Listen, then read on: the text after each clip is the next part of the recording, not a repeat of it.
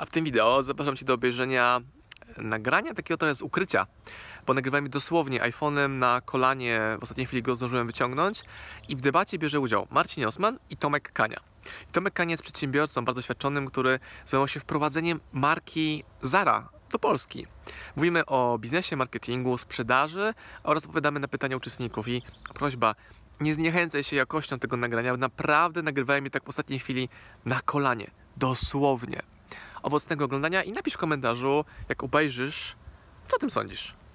Bo może będzie więcej takich materiałów, które last minute udaje mi się nagrywać dla Was specjalnie. Liczę na komentarze, owocnego oglądania. Lecimy! Ja, ja w ogóle z, ym, pracowałem czy współpracowałem w, z Inditexem i, i z Zarą od praktycznie rzecz biorąc od samego początku. Tak? To znaczy pierwsze Zary były otworzone w Warszawie i we Wrocławiu pod koniec 1998 roku, a ja dołączyłem do zespołu 1 stycznia 2001 roku, tak? czyli 2000 roku, przepraszam.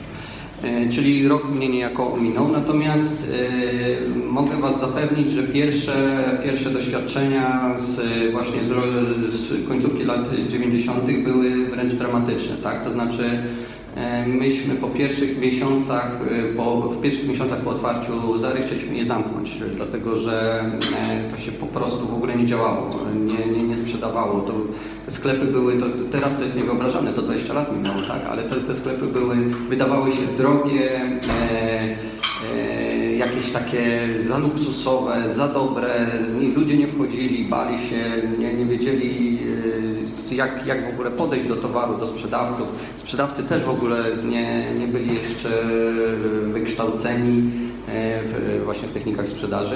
Także to była, to była taka trochę rewolucyjna, rewolucyjna działalność. E, myśmy na szczęście mieli bardzo dobrego partnera, czyli firmę Inditex, czyli właściciela e, marki Zara.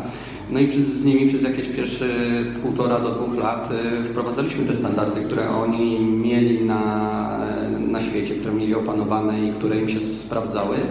I mogę powiedzieć, że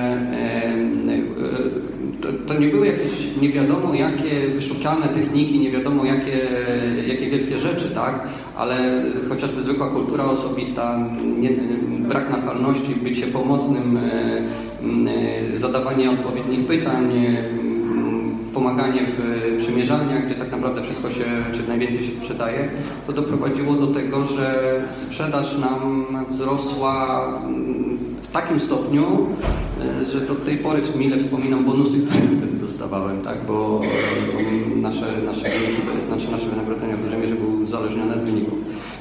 I, e, ale co najważniejsze to to, że e, po prostu marka się przyjęła, E, ja potem, ja nie tylko byłem szefem Zary Polska, ale byłem również e, prezesem zarządu takiej spółki, która była franszyzobiorcą takich marek, pewnie większości z Was znanych, jak Esprit, Mango, Aldo, Boss, e, paru jeszcze, paru jeszcze innych. Kiedy odchodziłem z tej firmy, to było ponad tysiąc osób zatrudnionych i zapewniam Was, że każda, każda z tych marek miała swoje e, standardy dotyczące sprzedaży i w każdej, w każdej z nich te standardy były, były nieco odmienne, także było się naprawdę to Okej, okay, ale też e, w związku z tym zrozumiałem, że każda z tych marek miała swojego, swój profil klienta. Tak, swój profil klienta, nie tylko klienta, no, to, profil klienta. Oczywiście każda marka to, to jest inna. To się może wydawać, że Mango i Zara to jest to samo, nie? To są zupełnie inne biznes modele. Natomiast e, no, na przykład w Zarze to nie, nie był tylko profil klienta, ale również profil e, sprzedawcy, tak? To znaczy nie jest jakąś wielką tajemnicą, że my, czy Inditex, e, jeśli chodzi o wygląd zewnętrzny, tak, no to panie musiały spełniać tak zwane e, wymogi tak zwanego czyli musiały wyglądać odpowiednio. Oczywiście wszystkie z pań dostały pracę, ale, ale nie jest też tajemnicą, że my na przykład zatrudnialiśmy sporo gejów e, jako sprzedawców, tak? E, znaczy, mm, to nie był jakiś rasizm, ale geje mieli łatwiej, tak, tak naprawdę. Lepszą konwersję. Lepszą konwersję, tak, tak naprawdę. Dlaczego pytanie yy, Dlaczego? Dlatego, że yy, Zara jako, jako marka tak, yy, jest, czy przynajmniej nie wiem jak jest teraz, ale na początku ona była bardzo popularna wśród gejów. Tak? Nawet Michał Witkowski znany dosyć polski, polski pisarz, e, na początku lat 90. napisał, nie pamiętam w której książce, tak, napisał, że wreszcie Zara otworzyła jakiś porządny sklep dla gejów w tym kraju, tak, więc e, to, no to tak było, taka, taka rzeczywistość. Czyli z jednej strony jako klienci, ale z drugiej strony jako sprzedawcy w Tak. kontekście dopasowani do... Tak, do, do klientów. oczywiście. Czyli e, same przypadki. Tak, to y, znaczy w tej, w tej chwili to jest inaczej trochę, tak? Natomiast wtedy rzeczywiście mm, no, no, koniec lat 90., początek lat 2000, no to wtedy mężczyźni no, nie, nie, nie tak chętnie się ubierali modnie, tak? Y, I to i oni no, też potrzebowali jakiegoś takiego wiem, zaufania do, do, do, do sprzedawców, do tego, że, że, że te, te produkty, ubrania zostaną dobrze, dobrze pokazane, dobrze sprzedane i tak, także to, to, no, takie były, takie były czasy. Okay, powiedz o wobec tego tak ostatnie pytanie e, w tym kontekście. E, Minęło ileś lat, tak? No bo minęło około 20 od momentu, kiedy Tomek zaczął i, i, i około 10, czy kiedy, kiedy zakończył współpracę, czyli 10 lat. Czy ta wiedza, którą wtedy zdobyłeś, doświadczenia, to wszystko, co wtedy wprowadzaliście przez te 10 lat, wiesz, co było wtedy, minęło te 10 lat, robisz teraz coś innego, Tomek prowadzi bloga, pisze książki fantastyczne, zresztą są dostępne na naszym stoisku, więc też zapraszam, będzie można też i e, autograf uzyskać. Natomiast chodzi o to, że czy to tak bardzo się zmieniło, albo czy wszystko naprawdę tak bardzo się zmieniło, jak powiedzmy 10 lat temu. Mam na myśli podejście do sprzedaży, awatar klienta, tego typu rzeczy. Nie, nie- jest jakąś wielką tajemnicą, że wczoraj też braliśmy udział w podobnej, w podobnej dyskusji z Karolem e, i tam trochę podobne pytania e, padały. To znaczy, ja, ja, mi się wydaje, a właściwie nawet wi- widzę to, to nie tylko, że mi się wydaje, że ten pierwszych 10 lat, czyli no, nie wiem, od roku 98 do 2008, czyli do, do, do czasu kryzysu, to był rzeczywiście duży postęp, jeśli chodzi o ogólny poziom sprzedawców, obsługi e, sprzedaży, czy podejścia do klientów, tak? To znaczy wtedy nastąpiło coś w rodzaju rewolucji e, i myśmy zaczerpnęli tę wiedzę z działającą wiedzę na zachodzie, tak? E, Natomiast następnych 10 lat no to już była taki, taki rodzaj stagnacji, to znaczy już jednak doszliśmy do tak wysokiego poziomu, e, do, tak mniej więcej w tym 2008 roku, kiedy ja odchodziłem, że, że potem już niewiele dało się zrobić, natomiast e, teraz ja mam takie wrażenie coraz bardziej, że mm, e, wchodzimy w kolejną fazę, to znaczy w taką fazę, że klienci są już tak przyzwyczajeni do tego, że są dobrze obsługiwani, e, że sprzedawcy muszą się wykazać jeszcze czymś więcej w tej chwili, tak? Jakimś, jakąś formą zaskoczenia klienta, jakąś formą artyzmu, jakąś formą improwizacji, czymś takim. Sami jesteśmy klientami, tak? I ja, ja, już trochę, szczerze powiedziawszy, zresztą pewnie nie tylko ja, jestem znudzony tym takim zwykłym, standardowym e, obsługiwaniem e, ludzi, którzy wiem, że są tego nauczeni i chcą mi sprzedać, bo ja mogę pójść dosłownie drzwi dalej i, i kupić coś, tak? Więc samo być obsłużony. tak, i być tak samo obsłużonym. W związku z tym ja jako klient, myślę, że nie tylko ja jako klient, poszukuję coraz bardziej czegoś takiego właśnie bardziej zaskakującego, czegoś, co, e, co spowoduje, że sięgnę do tej kieszeni tutaj, a nie tam, tak? No właśnie, Marcin, co by to takiego mogło być zaskakującego? Bo nieco o tym rozmawialiśmy, ale jeżeli chodzi o to zaskoczenie, o ten artyzm, o te rzeczy, które od nas handlowców się wymaga, co to mogłoby być? To mogą być bardzo proste rzeczy, jak nawet mówienie per ty, a nie per pan. To by wystarczyło.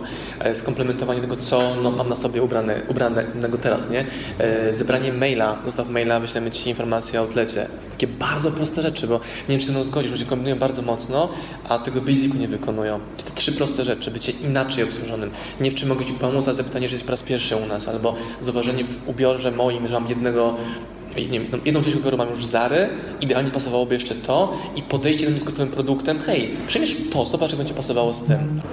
Podsumowując, bardzo proste rzeczy, proste mechanizmy, konkretne, zaskoczenie na poziomie podstawowym, a nie szukanie nie wiadomo czego, bycie ekspertem, pomoc mi w tym, żeby mógł z moją modą, tym jak jestem ubrany, bo też chodziłem w ciuchach Zary bardzo długo, żeby mógł jeszcze lepiej wyglądać, zanim ja po jakiś ciuch sięgnę, albo pokazanie mi produktu, który mnie pasuje, bo jako sprzedawca wiem, że on by pasował, ale jako klient nigdy bym po niego nie sięgnął, bo się go boję na początku. No, Tak? No Okej. tak, zgadzam. Jakie Państwo macie pytania w takim razie do naszych ekspertów, już wiedząc, e, czym, się, czym się zajmują i to Wam mamy pomóc. Proszę bardzo. E, Ja powtórzę, żeby wszyscy Znaczy, trzy błędy. wiadomo, że słyszeliście. Jakie trzy błędy, grzechy główne sprzedawców, oprócz tego właśnie, że na przykład być podobnym do innych, jakie, żeby Tomek wymienił? E, Szczerze powiedziawszy, nie, nie, nie- jakby nie zastanawiałem się, trudno mi taką klasyfikację teraz przed, e, przedstawić, ale znaczy, tak jak, jak Karol mówił, e, piszę również książki, tak? I generalnie ja zajmuję się tym, jak nasze przekonania wpływają na to, jak nam się świat urzeczywistnia, tak? To znaczy, co, co w tym swoim życiu kreujemy. I ją, e, znaczy, zmierzam do tego, że mm, głównym grzechem sprzedawców wszelkich, nie tylko tych, którzy, którzy sprzedają w sklepach, tak? bo ja na przykład sprzedaję przez internet głównie i to siebie, to, e, to jest e, bycie na niewłaściwym miejscu. To znaczy, jeżeli ktoś nie jest przekonany, że to, co robi, e, to jest dla niego i to jest dobre i że się w tym w miarę dobrze czuje i nie, i nie jest przekonany, że się chce w tym rozwi rozwijać, to to po prostu widać na twarzy, tak? To znaczy widać w postawie, widać na twarzy i to jest podstawowy, podstawowy błąd. Y, Ja, y, ja nie, nie, nie, nie, będę, że tak powiem, wskazywał palcami, ale to, to ja, ja na przykład patrząc na Was, tak, ja, ja widzę, kto jest zainteresowany, kto nie jest zainteresowany. Y, I to, y, I to nie jest w żaden sposób y, rzecz ocenia, ocenna czy oceniająca czy negatywna. Tak? Po prostu chodzi o to, że no, znaczy ludzie, którzy nie, nie lubią sprzedawać, powinni moim zdaniem zwolnić miejsce innym. Tak? E, To jest jedna rzecz. Druga rzecz no to jest taka ogólnie pojęta kultura osobista, tak? czyli, czyli wygląd, czyli, czyli to jak się zwracamy, jak mówimy. No, nie można być niemiłym, nie wiem, nieokrzesanym, tak? Chamskim to może za, dużo, za, duże, e, za duże słowo. E, A trzecia rzecz moim zdaniem to jest e, taka zbytnia, jakbym to powiedzieć, nachalność, może za, za, takie za bardzo pokazywanie, że chce się sprzedać, tak? E, takie z- zbytnie ugrzecznienie. To, ja, ja, ja, ja wiem, że to są pewne sprzeczności w tym, co mówię, ale tu chodzi o to, o znalezienie takiego... To takiego zbyt, bardziej to zbyt, tak? Czyli nie być za bardzo... tak, tak, tak, żeby znaleźć taki złoty środek, ale właśnie w tym, w tym środku, żeby starać się pokazać siebie właśnie od strony takiej oryginalnej, bardziej trochę, trochę innej, chociażby, nie wiem, strojem czy czymkolwiek, tak? Czy, czy, czy s- sposobem zwracania się, zadawania pytań chociażby. Chciałbyś dodać? Za, tak, bo kombinujemy z jakimiś trudnymi z mechanizmami marketingowymi, a mi na przykład bardzo pomaga to, że chodzę w muszce. To jest tak prosta rzecz, a wszyscy wiedzą, że koleś do muszki to jest Osman. Jak oglądają mnie w internecie, na konferencję, to łatwiej rozpoznać mnie po muszce niż po tym, jak wyglądam. Mam, mogę mieć inną fryzurę, inną koszulę. To jest jeden wyróżnik. Ludzie kojarzą mnie z muszki i uśmiechu, tych dwóch rzeczy bardzo charakterystycznych i tak naprawdę jest. E, W przypadku e, Zary też byłem klientem bardzo często tam i podobała mi się trochę inna obsługa, bardziej odważne stroje, też jest super. Ta naturalność, o której mówisz, też się z tym zgadzam, że na początku poznajemy nowe mechanizmy, sorry, nowe mechanizmy, nowe umiejętności, nowe strategie i e, na początku są trudne, bo nie są częścią nas. Ale kiedy testujemy, szukamy własnego języka, własnego wyrazu, to nagle są naturalne. Czy ja mogę bardzo agresywnie Wam sprzedawać moje rzeczy, ale Wy tego nie bierzecie jako agresywność, bo wiem, jak to zrobić dobrze i skutecznie. A jak ktoś nie potrafi tego robić subtelnie, to jest zbyt mm, no nieokrzesany wręcz można powiedzieć. Czyli często to, co mi ujdzie na sucho na moich wystąpieniach, nie ujdzie komuś innemu na sucho. Czyli moja kon kon konfrontacja z Wami pytaniami nie jest standardem w przypadku innych prelegentów, to jest mój wyróżnik, wypracowany. Tak. A jednocześnie wcale nie wymuszony, tylko no, albo być może na początku, tak? No tak, bo, bo mamy predyspozycje jakieś, tak? Tak. Marcin ma pewnie większe. Natomiast nie wiem, czy kto, kto z Was wie, kto to jest y, Dawid Bagiński? Dawid Paniński, kojarzycie osobę? No to jego taką cechą, czy znakiem charakterystycznym jest czapka, tak? On zawsze w czapce. Tak, I to jest, to jest właśnie bardzo proste, bardzo proste. Czasami, mogę jeszcze? Czasami nawet koszula, która jest ze slimem z Zary, wystarczy, żeby wyglądać się lepiej po prostu. To nie musi być muszka, to może być kapelusz, to może być cokolwiek, to może być pani w żółtym, pani w różowym, a nie czarne, szare stroje polskie. W Polsce bardzo łatwo jest się wyróżnić. Bardzo łatwo. Tak, zwłaszcza tak zewnętrznie ubiorę. Tak, Mhm. dokładnie. E, Słuchamy dalej. Rozumiem, że odpowiedzieliśmy na pytanie? Tak, jest. Jest Pan ukontentowany. Dobrze, muszę sprawdzić to słowo. E, dziękuję bardzo. Że siedzi w, w kącie. A, że siedzi w kącie. Okej, w porządku. Y, Zapraszamy do pytań. Proszę bardzo, kto z Państwa chciałby jeszcze zadać pytanie? Tak bardzo subtelnie proszę Pytaj tam. Mogę? Mm, Jak nikt nie zadaje pytań, to najłatwiej się wyróżnić, zadając pytanie. Kolejny tip. Znacie tą psychologię, że jak się zadaje klientowi pytanie, to powinno się zamknąć i kto pierwszy odpowie. Cisza. To jest po prostu narzędzie, jakiego używam permanentnie. Takie Tak, zawieszenie tak. w powietrzu Tak. tego pytania. Ja też na moim wystąpieniu wyczekałem. Była długa, niewygodna cisza, znacznie bardziej niekomfortowa dla Was niż dla mnie, bo wiem, jak ten mechanizm działa. Tak. A czas płynie, więc nie ma problemu. Ale to Państwo macie korzystać. Zapraszamy, proszę bardzo. E, Marcin dużo w internecie, dużo w sprzedaży. E, Podpowiem, Tomek, sprzedaż książki, Facebook. W czym może mogą Wam pomóc? Chętnie pomogę Tobie w książce. O, jest pytanie, myślę. jest pytanie. Poproszę Cię, poproszę Cię o mikrofon, będzie lepiej słychać. Proszę bardzo. To ja bym sobie ciszę. To jak sprawić, żeby ona nie była niewygodna? Jak sprawić, żeby była niewygodna? Żeby nie była niewygodna. E, czy mnie słychać bez mikrofonu? Y, Nie słychać. Co wiesz? Chyba, że dam Ci na głowę, jak chcesz. To jest tylko i wyłącznie kwestia testowania. Prawda? Już. Ludzie boją się tej ciszy, bo ona jest niekomfortowa najpierw dla Ciebie jako dla sprzedawcy i jak ją testujesz, to, to jest oznaka słuchania klienta. Jak ja tą ciszę robię, ja widzę jak w jego głowie pracuje ten mechanizm. No dobra, okej, to chcę, a nie przegadanie, nie zabicie tej ciszy natłokiem informacji. Prawda? Testując. Konkretny przykład, o to, chcę- o co chcę zapytać, bo nie wiem o co chodzi z tym pytaniem. Czy to jest kwestia osobowościowa? Czy to jest właśnie kwestia... To jest tylko i wyłącznie narzędzie. Osobowościowe jest to, jak go użyjesz i jak implementujesz do siebie, czy jest częścią, czy wyglądasz jak ekspert, czy jak sprzedawca garnków. I znowu była cisza. Mogę?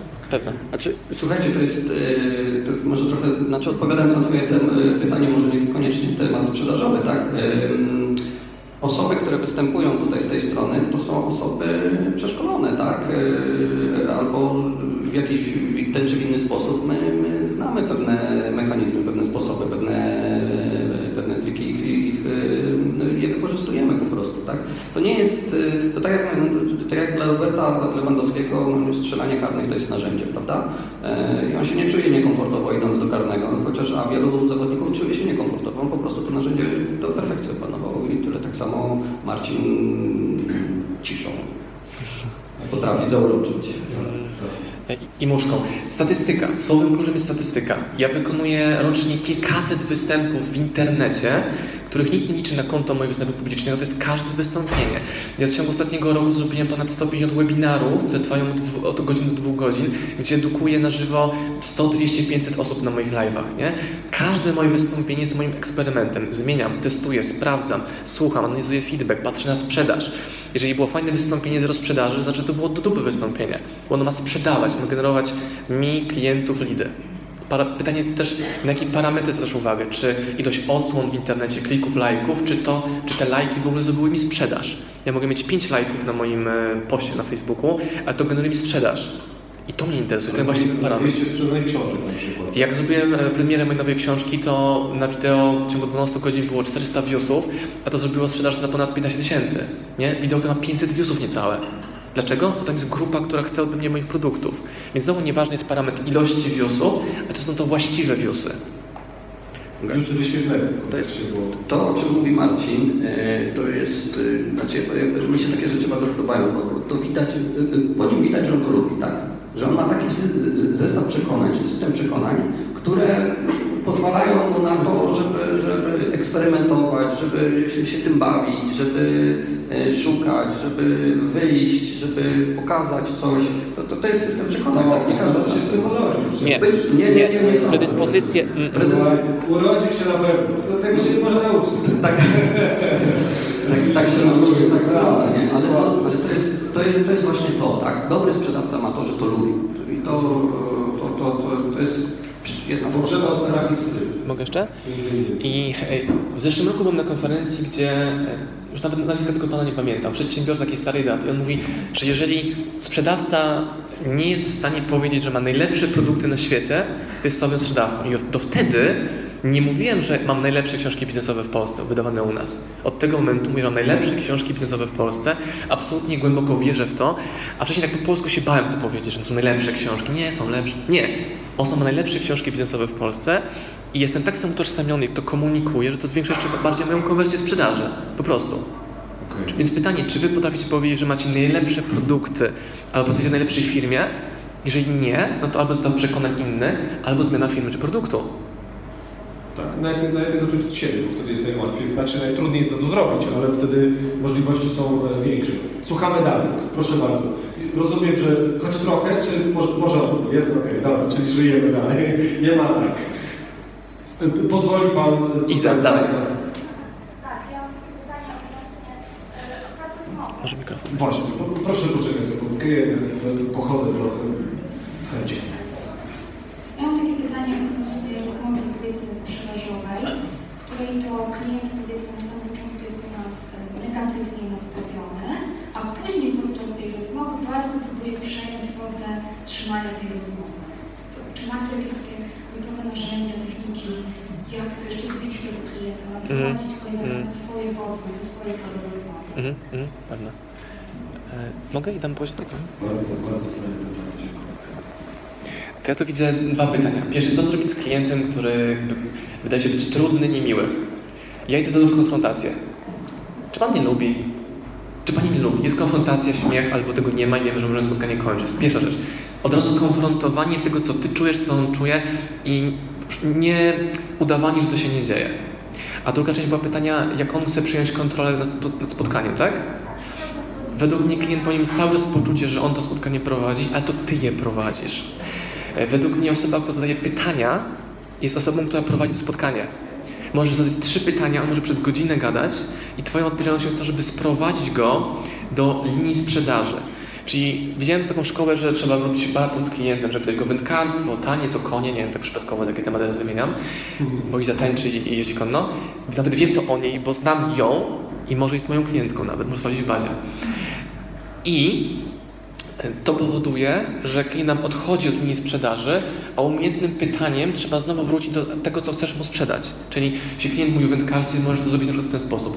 Super, wędkarstwo super rzeczy, nie testowałam nigdy, ale wracając do tematu, szanując Pana czas i mój czas, czy możemy wrócić do tematu? I znowu, wracasz. On będzie znowu próbował kilka razy ups and downs, ale tymi pytaniami, znowu pytaniami, wracasz do właściwego przekazu, jaki masz do e, zaoferowania. Zbyt dużo sprzedawców mm, nie szanuje swojego czasu, gadając o pierdołach, bo wydaje im się, że klient się pokoleguje z nimi, to go to kupi. Nie. On idzie do innego sprzedawcy, który potrafi dobrze domknąć, czyli do Osmana. Tak, tak, zdecydowanie. Czy, to absolutnie się zgadzam, tak? Nie, My się zakolegujemy, tak? Aha, ja już to pewnie zrobiliśmy, ale y, y, nie dlatego się zgadzam. Ale nie, ale tak serio, y, szanujmy siebie, tak? To znaczy, to jest jeden z wyróżników y, naszych. Jeżeli my się będziemy szanować jako sprzedawcy, to, to, to taki klient, ja jestem przekonany, że zapamięta nas bardziej, tak? I zwróci większą uwagę, e, niż na kogoś, kogo widział wczoraj, przedwczoraj, tak, który tak samo chciał mu sprzedać i był tak samo e, miły, przylepny i czasami oślizgły, tak, e, w swojej, w swojej namolności, więc e, szanujmy się. I to, co, to, co mówi, mówi Marcin, tak, ja mam, ja mam podobnie, tak, tylko, że nie pytam, czy Pan mnie lubi, tylko czy ma Pani, pani ze mną jakiś problem, czy coś, czy, czy coś złego zrobiłem, albo coś takiego, tak. Pa- Pamiętajcie, dzisiaj trochę e, wspomniałem o tym, jest takie jedno powiedzenie, że e, w takim razie to co płynnie przejdźmy Do biznesu. do biznesu. I to uwielbiam, płynnie przejdźmy, bo to wtedy wszystko nagle się takie płynne robi. To jest jeden też ze sposobów. Fajnie się słucha o tym, co mówią, ale prze, płynnie przejdźmy do pytań w takim razie. E, proszę bardzo, kto z Państwa chciałby jeszcze zadać... A właśnie, mamy tam pytanie. Chociaż Pan ma taki głos. Trzeba. Nie? E, Wiesz, jeżeli... Panie Tomaszu, z perspektywy czasu, którą decyzję, które działanie by Pan ocenił, że to właśnie one otworzyły drzwi firmy Zara Polska? Szczerze? Proszę. Tak zupełnie szczerze, wejście Polski, wejście Polski do Unii Europejskiej. To, y, to znaczy, to, to, to, tak się złożyło, że ja akurat wtedy zostałem prezydentem. Ale y, Czy to była dobra decyzja? miesiąc wcześniej dostałem. Ale nie, ale zupełnie serio. Wtedy nastąpił bardzo duży taki. E, wtedy to, to, bo to, to był zbieg kilku okoliczności, tak? To znaczy wtedy zaczęły się otwierać najlepsze e, polskie centra handlowe. Wtedy wszystkie marki zaczęły wchodzić, chcieć wchodzić do Polski i rozwijać się. E, Wtedy Polacy też się otworzyli, na, zaczęli więcej wyjeżdżać, tak, e, więcej oglądać tego, co jest na zachodzie i uwierzyli, że jesteśmy, że, że my uwierzyliśmy, że jesteśmy Europejczykami. E, I, i to mm, natomiast y, no przedtem to był, nie ukrywam, taki dosyć powolny, powolny rozwój, tak, to znaczy to, no to wtedy zaskoczyło, no taka, taka jest prawda, tak. Twoja decyzja, któraś biznesowa, tak? Bo to, to chodziło bardziej. A mo, moja decyzja, ja tam nie miałem wiele do powiedzenia, szczerze powiedziawszy, tak, bo to jest franszyza, oni, oni nam, no, my, my, moją odpowiedzialnością było zorganizowanie firmy, tak, e, żeby ona działała według ich standardu, e, zatrudnianie odpowiednich ludzi, znajdowanie odpowiednich lokalizacji w odpowiednich centrach handlowych itd., itd., doprowadzenie do tego, że te sklepy powstawały, budowały, sprzedawały. Natomiast e, całe know-how to było ich. Oni towar dostarczali, oni go wymyślali, oni go mm, ceny ustalali, oni szkolili pracowników, oni... Ty musiałeś dobrać ludzi. Tak, tak, tak. tak. No, ale, to, ale to trudno mówić o jakiejś decyzji, tak? No, decyzja- Skuteczna implementacja. No skuteczna implementacja. No właśnie, tak. bo- bo- ale, ale, ale trudno odpowiedzieć na to pytanie, jaka była de- taka właściwa decyzja, czy co, co, co, co zaważyło o sukcesie, tak? No, no, no, mieliśmy dobry zespół, tak? To też, też. Miałem w tym udział. Tak. No Okej, okej, właśnie właśnie w tym kontekście. Gdybyś decyzji o tym, że wybieramy takich ludzi, Nie, oczywiście, z takim charakterem oczywiście, i tak dalej, no to byliby przypadkowi i byłoby sukcesy. Tak, no, to, to, to, to tak mówiąc już od kuchni, tak, no, prawdą jest również, że myśmy tam, tam gdzie widzieliśmy, że to ma sens i ludzie nam na sucho, to trochę inaczej robiliśmy niż tam Inditex mógł, żeby robić, tak, czyli taką elastyczność, tak, nie, to, to, to, to prawda. Co? Very good, okej. Szanowni Państwo, bo mamy czas, mamy jeszcze czas, więc, więc yy, śmiało, proszę, zapraszamy uprzejmie do zadawania pytań. Tak. No może spróbujemy. Trzeba. Nie trzeba. Wspomniał Pan, że miał Pan dobry zespół. Ja tak od strony sprzedaży i rekrutacji sprzedawców. Na co zwracać uwagę e, przy rekrutacji sprzedawców? Co, co, co obserwować? E, nawet przy takim krótkim spotkaniu, albo nawet nie, bez rozmowy, albo właśnie przy rekrutacji telefonicznej. E, No, u nas to akurat telefonicznie się nie odbywało, tak, e, jednak te, te osoby musiały chociażby, żeby stwierdzić, czy pani ma lub tak, więc to, tego się nie da przez telefon zobaczyć. E, Niemniej jednak e, to widać po stawach. To znaczy to, to o czym mówię, tak? Myśmy nie zatrudniali ludzi przypadkowych, w sensie takich, którzy, po których nie było widać, że oni chcą to robić. Przynajmniej spróbować, tak? Może nie będą od razu mistrzami, e, ale przynajmniej chcą, chcą spróbować i są pozytywnie nastawieni. To, to ja tu- tutaj miałem bardzo dobry zespół herowski, tak? który, który dobierał. E, począwszy od kierowników sklepów, e, po, po sprzedawców, to, to znaczy to nie było ludzi przypadkowych, tak? A jak byli przypadkowi, to A szybko narzędzia jakieś mieliście dodatkowe, wspierające? rozmowa. Rozmowa. Tak, tak, tak. To, to, to, to znaczy, no to się, to się da wyczuć, tak? To się. Wiesz co, e, jeżeli, jeżeli jesteś, znaczy są ludzie, którzy się nadają tak samo, jak się nadają do sprzedaży, są ludzie, którzy się nadają do zarządzania, są ludzie, którzy się nadają do współpracy z ludźmi i do bycia e, szefami HR-ów, tak? Więc jak mam, miałem dobrych ludzi, dobre dziewczyny w tym, w tym HR-ze, one po prostu potrafiły na zasadzie empatii wyczuć, kto jest dobry, kto nie jest dobry i rzeczywiście skuteczność miały bardzo wysoką, tak? Większą z paniami niż z panami, bo z panami różnie bywało, tak? No, no, to były dziewczyny akurat w tym zespole HR-owskim, ale, ale panów też mieliśmy fajnie.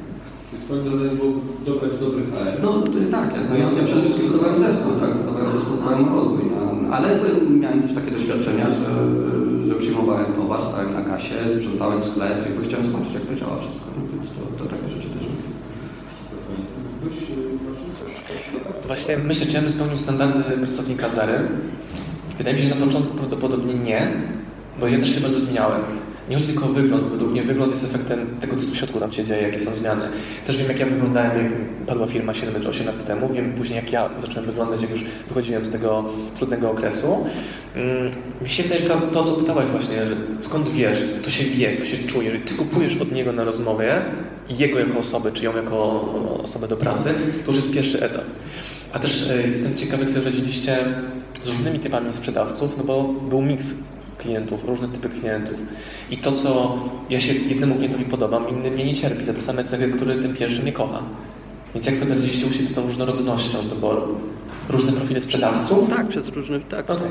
No, to nie ma, no różnorodność na różnorodność. No, no, nie, nie zabronimy ludziom chodzić do sklepu, tak, y, y, różnym, więc y, no, tyle mogę powiedzieć, no. W, Oczywiście były pewne standardy, tak? To, to, to, co, to, o czym mówię na początku, że Inditex e, jednak wymagał, no, tam jednak przyjeżdżali ludzie z tej Hiszpanii e, i, i, i patrzyli tak, jak się ludzie zachowują, jak na kasie, jak przy, e, przy, przy przymierzalniach, jak na sali. To wszystko, no pewne standardy trzeba było, tak Czasami, to, czasami przyjeżdżali ludzie, o których ludzie w sklepie nie wiedzieli, nawet ja nie wiedziałem, że ktoś przyjechał, tak? bo akurat został wysłany i przyjechał do Polski i sobie popatrzył, pochodził po sklepach i popatrzył, więc e, taki e, tajemniczy klient trochę, nie? E, Więc oni musieli pewne standardy spełniać, no ale to byli różni ludzie, tak? I, i i starsi, i, i bardziej wylewni, i mniej wylewni, no, różni, tak. To ja bym jeszcze jedną rzecz dodał, że ta chęć służby, że przedsiębiorca i sprzedawca, on chce służyć komuś, kli- klientowi czy firmie, a ludzie, którzy się brzydzą sprzedażą, oni się brzydzą służeniem, bycia trochę niżej, że muszę podać ten ciuch, że muszę być e, krok w tył, bo klient być najważniejszy, więc słowym kluczem, siostrą słowa sprzedaż według mnie jest służba, służenie. Czy on potrafi swojego odstawić na rzecz zrobienia transakcji? Tak. Czy on podniesie ubrania, które spadły? No tak. Czy on sprawi, że ten klient jeszcze lepiej wygląda? Ludzie nie chcą służyć, chcą, żeby im ktoś służył, oni chcą być pomocą. Taka jest moja obserwacja. Ja się na maksa cieszę tym, że mogę służyć moim klientom wydając książki, że mogę na stoisku, na różnych konferencjach sam te książki sprzedawać, jak też robiłeś tym, tym na teście Mystery Shoppera u Was. Mnie to mega kręci. A znam szefów firmy, którzy się brzydzą, że stoją za, em, za ladą, czy, czy pomagają w To ja mam pytanie do, do Państwa wobec tego. E, Kto chciałby się podzielić właśnie e, taką jak gdyby swoimi obserwacjami, przede wszystkim doświadczeniami, odpowiadając na Pani i nasze pytanie. Jakie macie swoje sposoby na zatrudnianie e, albo właśnie podpowiedź tutaj Pani na e, dobrych ludzi? Do sprzedaży? Do sprzedaży, tak? Proszę bardzo, kto chciałby się podzielić swoimi doświadczeniami i obserwacjami? Spokojnie, nie, nie wszyscy nas, nie wszyscy. Ktoś z Was zatrudnia ludzi? Kochani, jest ktoś taki tutaj? Są ludzie? Chciałby Pan się podzielić? Jaki Pan ma sposób? Ale nie, tutaj pytam Pana wcześniej. W zasadzie pewnie jest trywialny. Ja staram się za- zatrudniać hodowców po prostu z doświadczeniem, którzy odnoszą sukces w branży, w której pracują teraz. Sprzedaż, sprzedaż jest a, tu bardzo podobna. W każdej branży zmieniają się klienci, zmieniają się oferta, ale proces jest praktycznie ten sam. Mhm. Czyli odnoszą sukcesy w innej branży i chce Pan, żeby tutaj weszli w nową branżę i odnosili takie same sukcesy. Tak. Czyli mindset, w sensie mentalność już zwycięzcy. Dokładnie. A jak Pan to sprawdza? Znaczy py- pytam, jeżeli to jest możliwe, bo czasami to też może być odczucie, więc może trudno powiedzieć, ale czy ma Pan jakieś takie sposoby? Wyniki są bardzo często Okej, czyli wyniki w innej... Ewentualnie, no jeżeli widzę, że osoba jest bardzo kreatywna i chętna po prostu do rozwoju, no to, to wtedy też jak najbardziej. Okej, super. Fajnie, bardzo dziękuję. Proszę, przekaże Pan proszę mikrofon. Zupełnie inne doświadczenie, ponieważ e, ja jestem sprzedawcą od niedawna. Całe życie uważałam, ja się do tego nie nadaję. A się okazało, że mam no, takie cechy, a nie inne jak duża empatyczność, które pozwalają mi łatwo sprzedawać, również słyszenie częstego nie nie jest dla mnie problemem. I okazuje się, że wysoka skuteczność, czy też wyniki w innych branżach, gdzie mam totalnie bez doświadczenia ze sprzedaży, opracują. Ktoś jest tu na sali, kto Panią odkrył? Czy Pani szef, szefowa? Tu, na tej sali? Czy jest koleżanka z pracy, a szefem, który za tym stoi, to jest Paweł Kulak z coraz lepszej firmy. Okej, dobra, ale nie, Paweł Cię nie ma. Nie, nie ma. Nie ma znaczy. Chciałbym zapytać właśnie, e, jak to jest. Teraz się Pani dobrze czuje w tym miejscu. Bardzo dobrze, właśnie. Więc to jest, jak widzicie Państwo, trochę odpowiedź na to, że nie jesteśmy błędem do naprawienia, tylko diamentem do oszlifowania. Tak? Prosta rzecz. Proszę bardzo, jakie mamy jeszcze pytania? Albo, albo proszę. Jeszcze jeden komentarz. Właśnie słyszę często, że jesteś diamentem, tym wę- węglem do oszlifowania to będzie diamentem. Ja uważam, że nie, że nie jest tak, że nie każdy jest tym potencjalnym diamentem. Są ludzie, którzy po prostu się do tego nie nadają. I ten sukces według mnie polega na tym, że potrafią odkryć, to nie jest dla mnie. Że się tylko nie nadaje. Potrafią Ale odkryć, to mogą się gdzieś indziej jako diament znowu oszlifować w innym miejscu. każdy będzie diamentem. Niektórzy będą po prostu sobą. No naprawdę, wiecie, mam wrażenie, jest dużo takich mitów wokół tego rozwoju osobistego, że, że you can do it, że się da. No czasami się nie da, czasami nie, w ogóle nie masz do tego predyspozycji i nie chcesz zapłacić ogromnej ceny za to, żeby tą kompetencję zdobyć. Ja lubię piłkę, nie wiem, koszykową, ale nigdy nie będę super koszykarzem, bo jestem pewnie trochę za niski. A włożenie w to miliona godzin mnie nie interesuje, bo wiem, że jak włożę milion godzin w bycie lepszym sprzedawcą, to kupię ten zespół koszykówki, zamiast stawać się lepszym zawodnikiem. Mówiliśmy to w innym kontekście, też takim, że e, lepiej być diamentem do oszlifowania niż błędem do naprawienia. Że Mm. takich problemów cały czas, wiesz, że jestem ciągle do kitu, do, do dupy, wiesz, i tak dalej, że o to chodziło, nie? W tym sensie, proszę Tomek. Też tytułem komentarza, tak? My e, bardzo często mamy jakieś przekonania takie stereotypowe, tak? E, coś jest złe, coś jest niedobre, coś jest nie dla mnie, tego się nie da, to, tak dalej, nawet spróbowawszy, tak? E, mm, i, I widzisz, mogłaś popełnić błąd życiowy, nie spróbowawszy, tak? E, e, sprzedaży. Mi się też kiedyś wydawało, że ja się nie kompletnie nie nadaję do sprzedaży, a już do wystopień publicznych w życiu, nie? E, więc e, natomiast to, to, to, co ja zawsze w tych książkach swoich, e, no to trzecia książka dzisiaj poszła do ruchu, e, to dosłownie, e, to do czego namawiam, to żeby zajrzeć w swoje serce, tak, bo e, świat nasz jest na szczęście już tak z, e, bogaty i tak skonstruowany, że e, no, przetrwać to przetrwamy, tak. E, Ważne, żeby starać się znaleźć to, co lubimy, e, lubimy robić, czy to będzie sprzedaż, czy to nie będzie sprzedaż. Bo nawet jeżeli się e, spośród Was ileś osób po, tym, po tej dzisiejszej debacie, czy po tym spotkaniu dojdzie do wniosku, że jednak nie, jesteś, nie jesteście urodzonymi sprzedawcami, może lepiej zmienić e, branżę, to to nie jest nic złego, tak? To, to możliwości e, jakby zarabiania pieniędzy, e, że- przeżycia w tej chwili jest, jest mnóstwo. I ja z własnego doświadczenia no, ja rzeczywiście robiłem sporą karierę taką menadżersko, menadżersko-korporacyjną, z zrezygnowałem i jestem szczęśliwym człowiekiem. Tak? Może nie zarabiam tyle jeszcze co wtedy, ale dużo przydam. Nam- Namawiam, tak? Namawiam do tego, żeby, żeby próbować nowych rzeczy, żeby nie, nie, nie, nie, nie szukać em, rozwiązań na siebie w tym, co inni nam doradzają, tylko raczej, żeby w sobie samym poszukać. Tak? I też niekoniecznie to musi być zmiana firmy. Nie, nie, oczywiście. Zmiana przecież o miejsca w firmie, tak? A- Albo, albo, albo przekonań, w ogóle przekonań, tak? Że na przykład e, stwierdzenie, że, kurczę, no, i- jeżeli, jeżeli jestem konsumentem i lubię kupować, tak? No to za każdym razem, kiedy kupuję, a robię to kilkanaście, kilkadziesiąt razy w ciągu miesiąca, no to za każdym razem ktoś mi coś sprzedaje, tak? No to może to nie jest takie złe sprzedawanie, tak? Skoro, skoro lubimy kupować, to, to, to, to, to, to, to jest Tak. dwie strony tej samej monety. No, a przecież nowoczesna sprzedaż bazuje na różnych mechanizmach, różnych podejściach. Jeżeli nie potrafisz sprzedawać bezpośrednio, no problem, możesz być mistrzem sprzedaży za pomocą reklam facebookowych twoja sprzedaż to jest w sumie analizowanie Excela konwersji. Reklamy internetowe to jest, to jest Excel, matematyka, nie ma tam nic personalnego. Może być super introwertykiem, który sprzedaje super z poziomu e, komputera. Może być introwertyczny, ale znajdź sobie klientów, którzy, do których wasz profil jako sprzedawca właśnie tak pasuje. Czyli ja jestem bardzo ekspresywny, potrafię to wyłączać, ale łatwiej mi sprzedać osobom, które chcą mieć takie otwartości i radości. A introwertykom trochę ciężej, bo czasami jestem dla nich zbyt agresywny, albo tak, tak jestem postrzegany przez nich. Em, Jacek Walkiewicz, prelegent dzisiejszy na koniec dnia, daliśmy jego książkę Rozmyślnik i on na początku mówił, że jak mnie spotkał, what the fuck, nie osmak, agresywny, rzuca się na mnie, jakieś pytania zadaje mi, co u mnie tego stół ciebie słychać, Jacek opowiedz. On się nie bał na początku.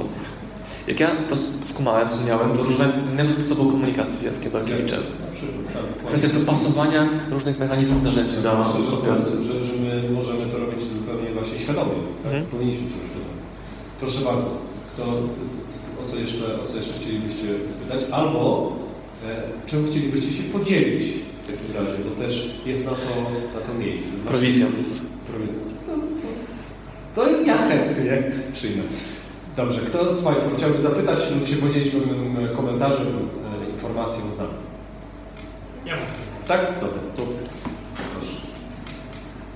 Czasami właśnie zdarza się, że po tej, po tej contact center, że mamy taką rozmowę z klientem, gdzie tak naprawdę i klient odpowiada na pytanie. Ta oferta wydaje nam się, że mu się podoba i brakuje tego i na koniec. Tej kropki na i. Mhm. Kiedy właśnie, kiedy ten poznać sygnał, że to już jest ten moment, żeby zakończyć e, to badanie potrzeb, tak, to przedstawienie oferty, ona może już została zrobiona i trzeba wreszcie tak sfinalizować sprzedaż, bo E, Nieraz jak e, właśnie weryfikujemy, czy odsłuchujemy sobie rozmowy naszych e, pracowników, jeden przychodzi bardzo płynnie i jest ta konwersja, drugi to ta rozmowa trwa, trwa, trwa i na końcu z tego nic nie ma, tak? I nie, ostatecznie nie kupuje tego produktu. Czy jest jakiś taki przepis właśnie, czy podpowiedź, kiedy to właśnie to jest ten moment, trzeba zakończyć, żeby nie przedłużać tego. Tak. Mhm. To ja testuję podobne rzeczy, jak jestem na stoiskach razem z moimi sprzedawcami na konferencjach duże, tam się przyjawiają tysiące osób po do stoiska z książkami i jest właśnie sytuacja, ktoś przychodzi, kupuje od razu super. Przychodzi kolejny, gada, gada, gada. Jak ja czuję, że przegrywam tą transakcję, od razu to zauważam, pytam kartą czy gotówką. Mówi, ja tylko oglądam, ok, kolejny, next. Właśnie sprzedawcy, którzy nie są pewni siebie albo którzy muszą sprzedać, bo jak nie, to ich zwolnią, mają większą tolerancję na słuchanie tego bullshitu klienta, tylko tej rozmowy w czasie, która trwa nieskończoność. nieskończoność. Jeżeli sprzedawca czuje, że to chyba nie jest ten klient, bo sprzedawca mówi więcej i dłużej niż yy, mówi klient, czyli są to proporcje, to lepiej to usiąść wcześniej. To jak robimy, czy nie robimy? I słyszysz, e, mm, albo no dobra, robimy, bo czasami jest nadsprzedaż z twojej strony. Co może powiedzieć klient? Tak, no to dajesz mu fakturę. Nie, no problem. A jeszcze jest takie miękkie nie wiem.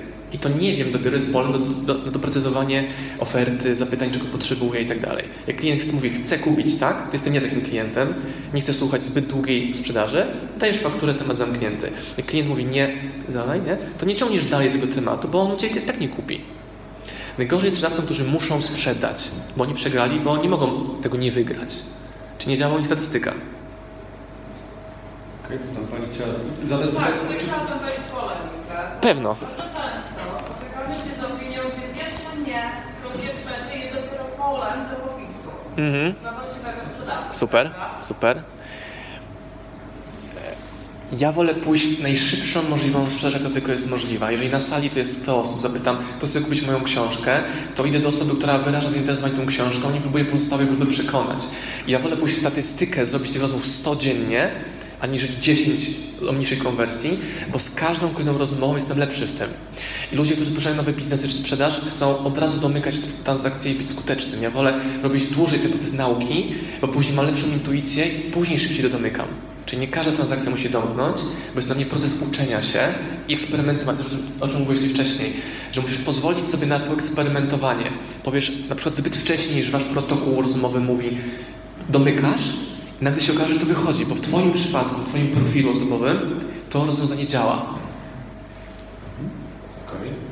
Porządku? Czy coś tam Tomek jeszcze uczynił? Tak, ja, ja jeszcze, bo też kiedyś w, czasie jednej z debat y, padło podobne pytanie, czy takie stwierdzenie, tak? Y, a mianowicie, co, co zrobić, jeżeli są pewne skrypty, bo ty powiedziałeś, że, się, że, że, że słyszymy, że y, y, trzecie nie, to dopiero coś tam, tak?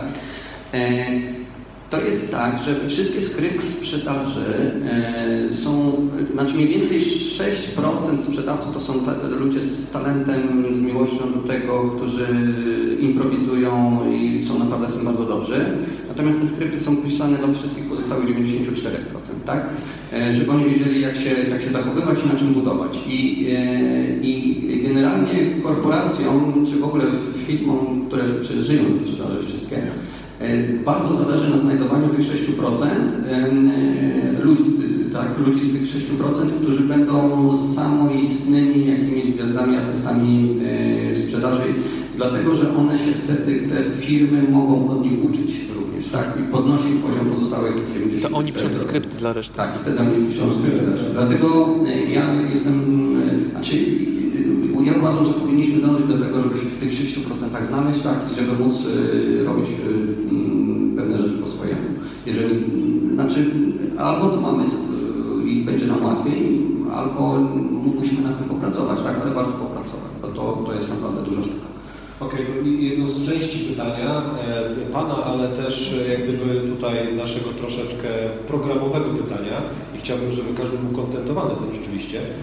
E, po czym rozpoznać, że to jest ten moment, że można, bo Ty wspomniałeś, że kiedy chce odejść, jak gdyby tak, czy tam ten, ten, ten.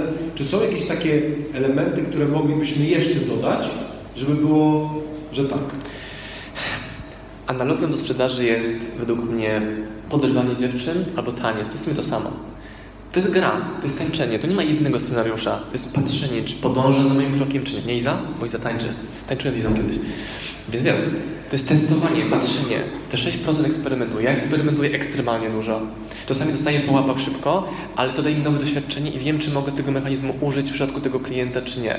To jest ciągła gra. Są ludzie, którzy potrzebują dokładnych instrukcji, krok po kroku, co mają zrobić. Na, nie da się tak. Jeżeli masz dokładne instrukcje, ale nie eksperymentujesz, nie dopasowujesz tego stylu do siebie, to ciężko ci się przemieszczać tak elastycznie pomiędzy różnymi Może się z monopolem i dzwoni się gdyby tylko po to, żeby przedłużyć, czy tam prawda, zrobić. Jak podłączałem internet u siebie w mieszkaniu, w, chyba w UPC, to gość mówił, że ma parametr liczony skuteczności, ile rozmów wykonał swoim telefonem stacjonarnym. Do mnie, dzwoniłem do niego, mówi, dobra, oddzwonię do pana, dzwoni stacjonarnego i ktoś go rozliczał z minut na telefonie stacjonarnym. Nie? Czyli zły KPI narzucony na ocenę tego pracownika. Też sprzedaż jest piękna, bo jest zero-jedynkowa, albo jest, albo jej nie ma. Jeżeli tu masz pracowników, którzy nie sprzedają, to określasz sobie, jaki, jaką inwestycję możesz ponieść w ich edukację, mierzoną na przykład w ilości miesięcy na okresie próbnym. Jeżeli to przekracza e, ten okres, a nie ma sprzedaży, to do widzenia, no mercy. Bo to jest jedyny zawód świata, który jest zero-jedynkowy. Grafik może ładnie rysować, gorzej rysować, ale nie ma 0,1, czy dobra strona, czy zła. Żarca albo przyniósł pieniądze do firmy, albo wyciągnął swoim etatem, etatem bez sprzedaży, czy zabrał pieniądze z firmy. To jest piękne sprzedaży. To jest ogromna odpowiedzialność szefa i pracownika, ale ja wolę być super sprzedawcą, skutecznym każdego roku jeszcze lepszym i pokazać, że to są moje wyniki, to jest mój print screen z konta, to jest mój print screen mojej prowizji albo tego, co dzisiaj sprzedałem i tyle. I z tym się nie dyskutuję w ogóle.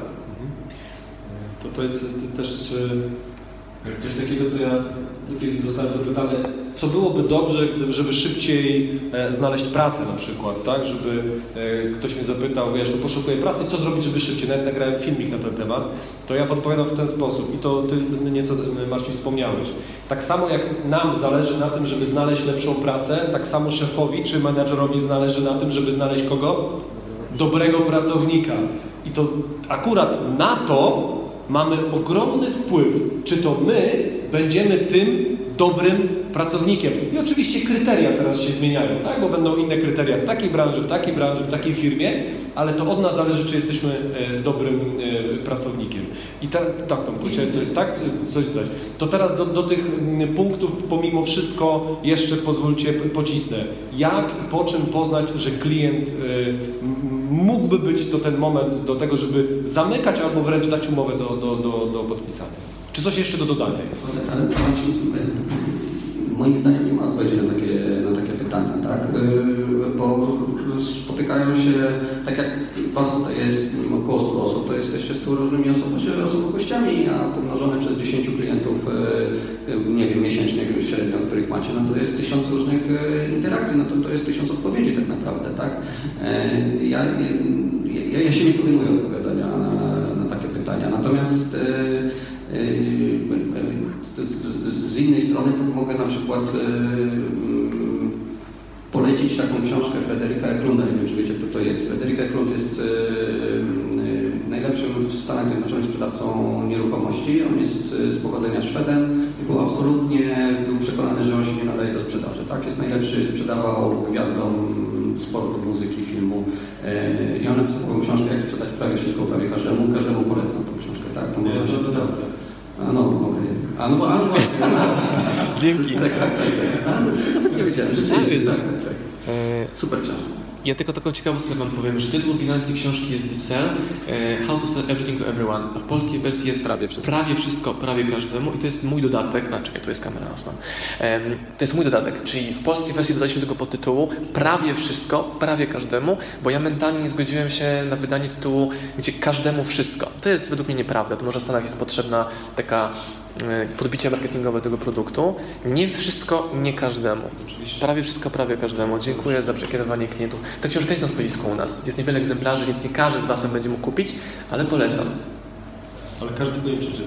Tak, tak. Tak. Znaczy, nie, zupełnie szczerze, ja, w My się nie znaliśmy, nie, naprawdę. Nie znaliśmy się przed dniem dzisiejszym. I to, e, e, także to, to, e, a ja przeczytałem tę książkę z wielkim zainteresowaniem. Jest też audiobook, ja słucham Aha, aha, i warto, nie? To wszyscy Klienci. mówimy, że, że... Nie, nie, ale to naprawdę to jest chyba jedna z najlepszych książek, jeśli chodzi o sprzedaż. Nie. On podaje, on podaje konkretne techniki, tak? E, e, kon- konkretne rzeczy, e, co on robi, jak do tego podchodzi. Jak zaczynał. Jak zaczynał, pisze o sobie swoją historię. To znaczy, z tego, z tego można wywnioskować, że można się tego nauczyć, a potem on mówi, czego on się nauczył. Oczywiście jego, e, jego sposób, znaczy ja, ja, bym, ja bym nie chciał tak sprzedawać tego, tak? To znaczy, on tyle, ale nie tak jak on, tak? Bo on też temu się rzeczywiście poświęcił, on tam dzień opisuje i tak dalej, i tak dalej. No ale on sprzedaje za 2 miliardy dolarów rocznie, tak? Czy coś, coś koło tego. Więc mi to, to, to nie jest potrzebne. Ja uważam, że on trochę gdzieś tam życia traci na to, ale to jest jego wybór. E, Natomiast książka jako... rocznie. Tak, e, tak, ale, książka jako książka poglądowa jest super. E, Ja tylko dodam, że fenomen tej książki polega na tym, że on jest Europejczykiem, on jest Szwedem, który nie wyjechał w wieku trzech latek do Stanów i był Amerykaninem w sumie, tylko on wyjechał jako nastolatek do Stanów, tam ten sukces osiągnął. I to jest książka wydana dwa i pół roku temu, jest super świeża, aktualna.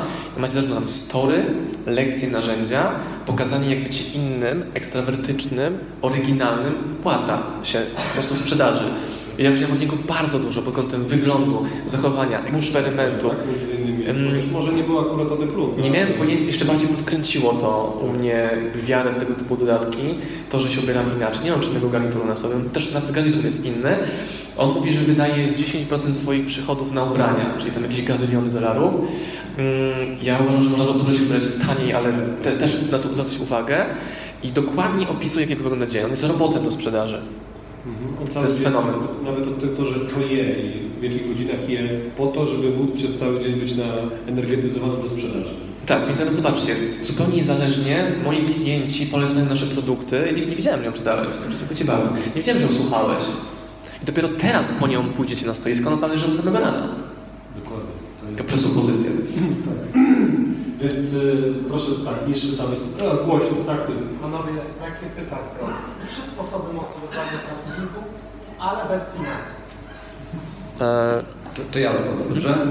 Ja uważam, że jest jeden podstawowy sposób motywowania.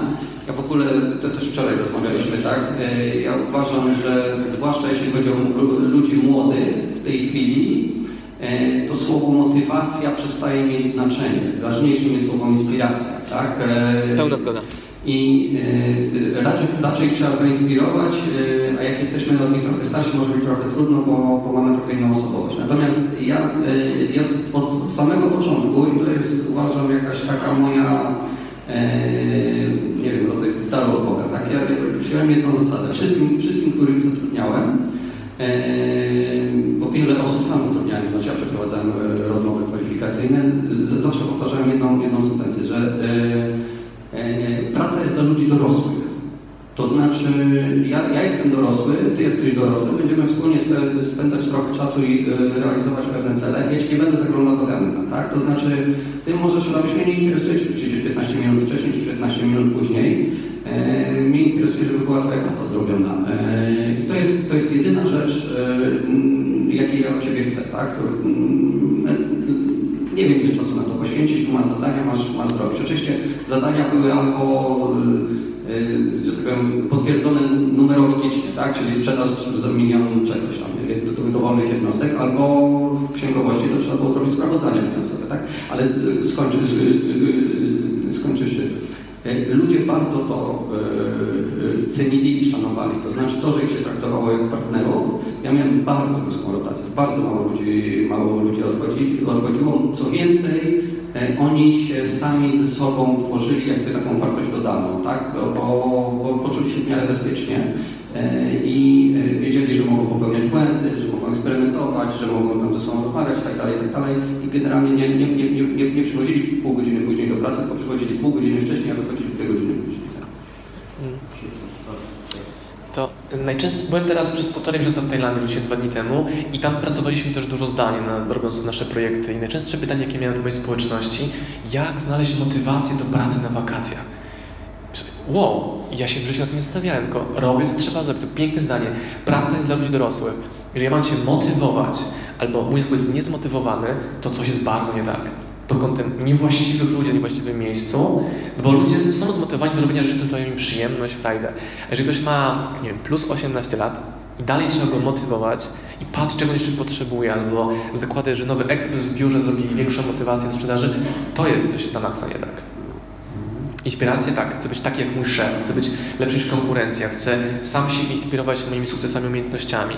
Super case'em jest Dominika Szymańska, która u nas pracuje od już dawna i to jak one się rozwijają. Kręci to, że ma niezależność, że może być szefem różnych projektów, i, ale jej roczni, czyli milenialsi, nie ma tej odpowiedzialności, bo przekładają ponad te doświadczenia, czy jest im dobrze, wygodnie, albo czy są nie wiem, świeże soki w biurze, albo czy jest prestiżowy adres, pod którym właśnie pracują. Co z tego, że zarabiają mniej niż ona w, warszawskim korpo, a ten status, który muszą utrzymać na krótką metę, pozwala im być szczęśliwym. To trochę tak było jak na- naście lat temu, kiedyś mm, ja zaczynałem też pracę. Ważne było, w jakiej firmie się pracuje, później dopiero ile się zarabia, ale żeby tak się jakoś wyróżnić. Nie? Coś chcesz? To... Tak, tak, bo znaczy ja, ja w ogóle uważam, że najważniejszą cechą taką, e, czy może inaczej, że my jesteśmy stworzeni do rozwoju, tak? E, że świat się rozwija wokół nas, wszystko się rozwija, my się rozwijamy i stworzenie ludziom możliwości do rozwoju e, to jest e, coś, co e, oni absolutnie, znaczy nie, nie, żeby nie było, że oni, to każdy z nas doceni, prawda? Jeżeli my będziemy mogli się e, rozwijać, będziemy, nie będziemy zdehumanizowani w pracy, Oczywiście są ludzie, którzy zawsze będą żołnierzami, będą armią i tak dalej, ale ym, ja zakładam, że my należymy do tych, którzy chcą się rozwijać, chcą coś robić yy, i takich ludzi, z takimi ludźmi też chcemy współpracować. W związku z tym takich powinniśmy poszukiwać, takich yy, zatrudniać, a potem dawać im tą samodzielność. Okej. E, Zostało nam jeszcze, tak podglądam zegarek, 4 minuty, żebyśmy się zmieścili w czasie. Ja mam konkurs szybki, jeśli mogę, tak? Tak, proszę bardzo. E, osoba, która zada fajne pytanie, dostanie książkę jak wygląda z autografem. Proszę. Ostatnie mamy pytanie, ostatnie kilka minut. Mówił. Weź mikrofon może. Mhm. Yy, Ja chciałabym się odnieść do tego, co jest napisane na slajdzie. Nowoczesne techniki pokonywania obiekcji. Właśnie o te obiekcje chciałabym zapytać. Yy, Bo trochę mam takie wrażenie, Marcin, że Ty mówiłeś o finalizacji sprzedaży i mówisz następny. Czyli trochę jest tak, że klient mówi nie wiem, nie wiem czy potrzebuję, a statystycznie po prostu kasujesz klienta i idziesz do następnego. I gdzie tu jest miejsce na to, żeby w nowoczesny sposób pokonywać te obiekcje? Mhm. Mhm.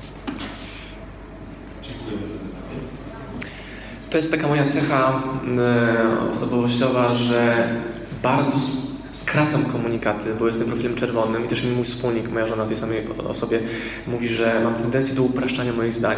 To nie jest tak, że następny, następny, następny. Zatrzymuję się, pytam, analizuję, patrzę, określam sobie ileś czasu, jaką na tego klienta chcę poświęcić i później jest kolejny. To nie jest tak, że mm, nie podoba mi się, mm, kolejny, kolejny, kolejny. Gdybym tak funkcjonował, to bym nic nie sprzedawał.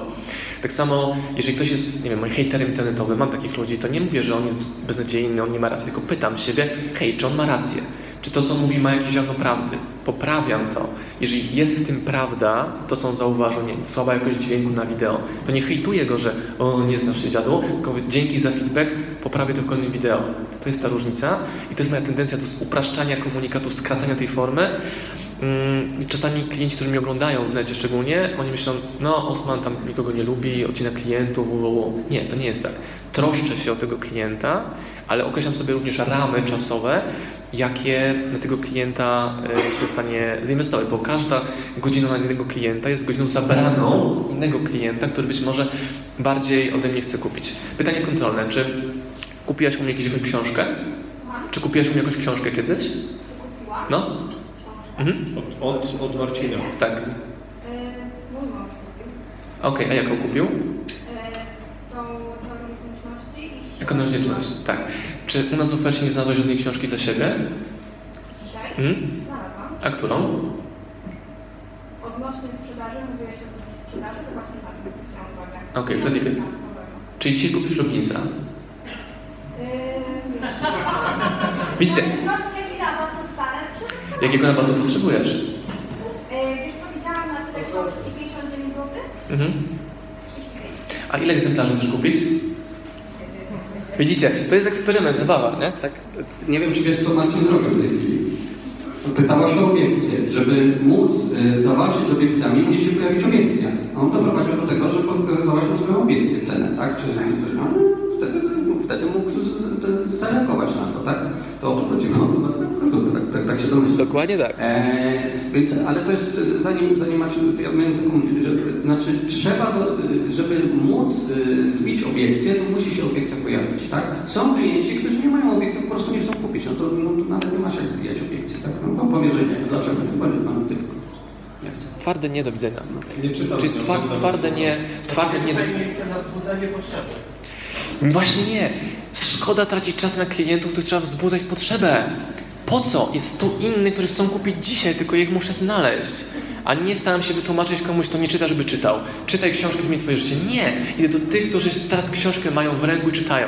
Dokładnie do tych idę. To jest bardziej efektywne, skuteczne. Może jest zbyt krótkie, aby tracić czas na ludzi, których nie są do domknięcia po prostu. Dlatego prawie wszystko, prawie każdemu. To trochę będzie podobnie jak... z- A, książka dla Ciebie oczywiście będzie, którą z autografem. Wow, super. Brawo w takim razie. Gratulacje. Za... Dziękuję Marcinowi za, za ten pomysł. Super. Dobrze, moi drodzy, wybaczcie, ale e, czas jest nieubłagany, więc e, będziemy, będziemy kończyć. Mam nadzieję, że jesteście usatysfakcjonowani tym, co usłyszeliście. E, Bardzo dziękujemy ekspertom.